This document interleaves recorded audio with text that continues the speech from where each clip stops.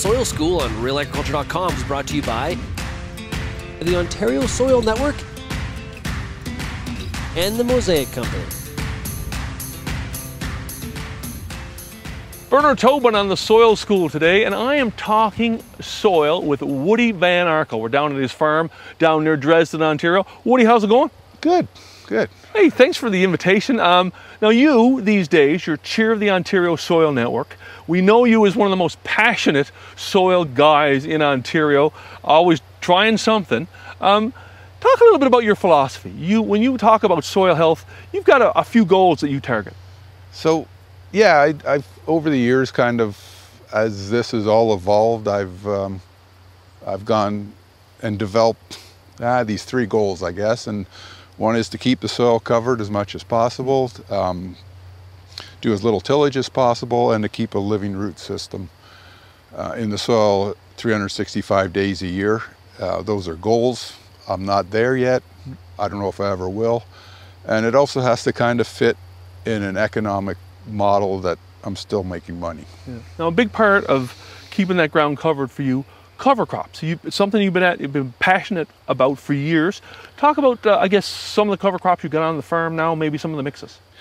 So it's it's been an evolution as well. It started off as simple red clover. Uh, I've gone up to the multi-species, you know, the 16, 18 different uh, species.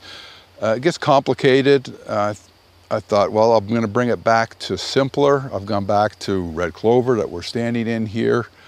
Um, and I want to get diversity through an extended crop rotation as well. So a combination of, of simpler cover crops and extended crop rotation. That's where my head sits right now. Mm.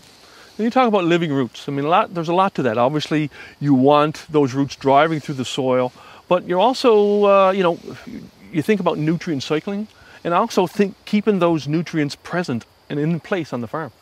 That's one of the goals for having the living root system.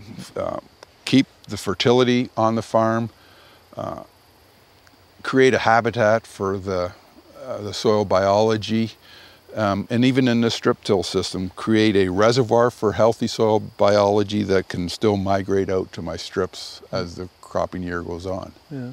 Now talk about a little bit about the farm. Um, uh, soybean, wheat, corn in the rotation? So I'm a, a corn, soybeans, wheat, sugar beets. Uh, I'm exploring sunflowers this year. So I'm uh, trying to get, looking at a couple of other crops, but I'm trying to extend my rotation out to a more diverse rotation than just corn and soybeans. Now, one of those goals you talked about was reducing tillage, and uh, it's always a challenge, but you're growing a crop like sugar beets. That, how do you do that? So that's where the strip till thought first came into the, onto the farm was, was to do strip till for sugar beets, so as little tillage as possible. Um, it's actually evolved a little bit and I'm experimenting with no-till sugar beets. So the only tillage is really done is the, the field level and very minimal uh, shallow tillage to level the field after harvest and then incorporate a cover crop. Right. What are you known as an innovator? A tinkerer, always up to something on Twitter and, and building, you know, whether it be a seeder for, for interseeding and stuff like that. Talk about some of the things you worked on over the years and, and, and you know, where they've taken you. So one of the biggest challenges I have is that the things I want to try, there's no equipment sitting on a dealer's lots. So you create your own. Um, it's experimental. I don't, I'm cheap. I don't want to spend a lot of money on an experiment. So there's a lot of junkyard engineering by inventory, I call it. So it's taking old equipment and, and, and try to modify it so it works. Uh, I've modified a drill to do inner row seeding between corn rows. Uh, the band sprayer to, to uh, spray out the strips in here ahead of the strip till machine, things like that. Uh, I'm still always looking for uh, towards a new interseeder slash drill slash bean planter that can do everything and with just minor modifications. Yeah. Always pushing the envelope and trying new things. And um, I want to talk about some of the, I guess, some of the trials you've tried in the last couple of years. And one of my favorites is uh, something you talk about Peter Johnson about all the time, and that is your 30 inch, sorry, your twin row 30 inch wheat. So moving forward in a project that I want to try, I want to incorporate a 30 inch farming system. but I want to put wheat in the system. So I've been playing with or experimenting with planting twin row 30 inch wheat that, um, and seeing if it'll compete or if I can come close enough that it still makes sense to put it in my rotation over a solid seeded wheat system. And how's it working out? It worked out good this year. Um, it actually gave me benefits of being able to wide drop nitrogen uh, on the wheat later. Uh, it eliminated the, the, the tracks where you would drive with a sprayer because now you have rows to drive between. So um, it worked. Uh, I've got another field in the ground this year to try it again. Uh, field right next to it is the same wheat, so I can do a yield comparison. Uh, I've done two different varieties, so I've got two different varieties in both of those fields to do uh, comparisons to see if that makes a difference as well. Awesome. So part of your philosophy managing your soil is figuring out what works on your farm um, and, and, and trying new things.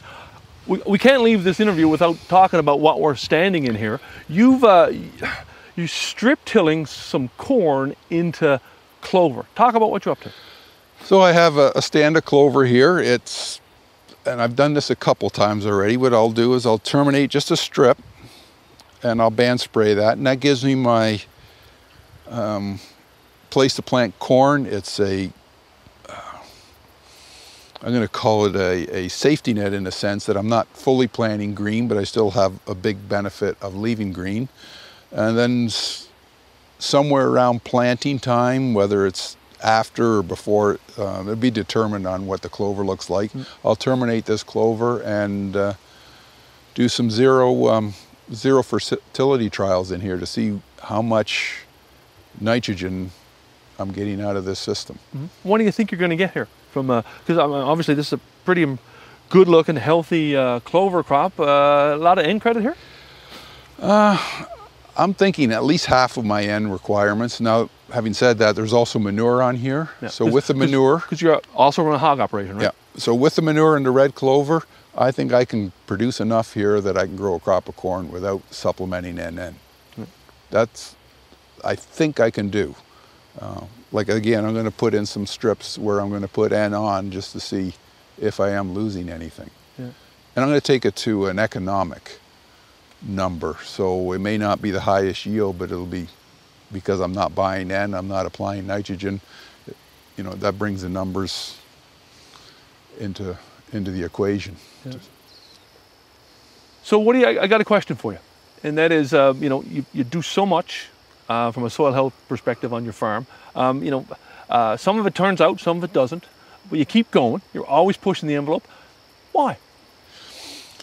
That that's a, a question I struggle with, um, but it, it, part of me tells me it's it's. Uh, I'm going to use the phrase, and I, I don't know. I can't quote it. I can't tell you who did it, but it's that you don't inherit the soil from your father. It's that you're born it from your children. So I guess.